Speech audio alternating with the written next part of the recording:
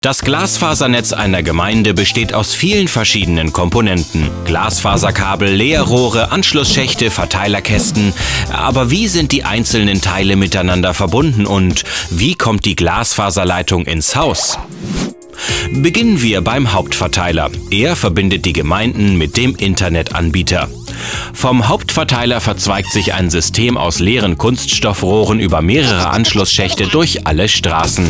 Das macht die Verlegung und spätere Wartung der Glasfaserkabel deutlich einfacher, da die Leitungen im Gegensatz zu herkömmlichen Kupferkabeln einfach aus den Rohren herausgezogen und mit Luftdruck neu eingeblasen werden können. Ganz ohne Baustelle und offene Gräben. Lediglich die erste Verlegung benötigt eine offene Bauweise. Aber wie kommt die Glasfaserleitung nun ins Haus? Zunächst wird detailliert besprochen, wo im Haus die Glasfaser am besten ankommen soll und wo die Anschlussgeräte platziert werden sollen. Notwendig sind ein Netzabschlussgerät, das die Lichtsignale in elektrische Signale umwandelt und ein Router, an den die Endgeräte angeschlossen werden. Alle Absprachen werden dokumentiert und an die zuständige Tiefbaufirma gegeben, die sich geschwind an die Verlegung der Hausanschlüsse macht. Auf privaten Grundstücken kann die Verlegung der Leerrohre fast immer in geschlossener Bauweise durchgeführt werden.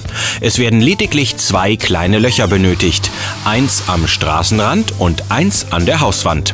Steht einer geraden Bohrung nichts im Wege, kann eine sogenannte Erdrakete eingesetzt werden. Sie bohrt einfach unter allem durch, Beete und gepflasterte Wege bleiben verschont. Sollte doch etwas im Weg stehen, wie beispielsweise die Wurzeln eines großen Baumes, so ist manche Tiefbaufirma hierfür besonders gerüstet. Mit Hilfe eines Spülbohrers kann auch in Kurven gebohrt werden, ebenfalls ohne den Vorgarten aufzugraben. Nur wenn zu viele enge Hindernisse im Boden vorhanden sind, muss tatsächlich ein offener Schacht gegraben werden. Aber das passiert äußerst selten. Nun kann das Leerrohr ins Haus geführt werden, wofür es im Wesentlichen drei Möglichkeiten gibt. Erstens, das Leerrohr kann überirdisch ins Erdgeschoss oder sogar höher verlegt werden. Dabei wird der Durchbruch ins Haus wasser- und gasdicht versiegelt. Zweitens, die Verlegung ins Erdgeschoss findet unterirdisch mit einer diagonalen Bohrung statt.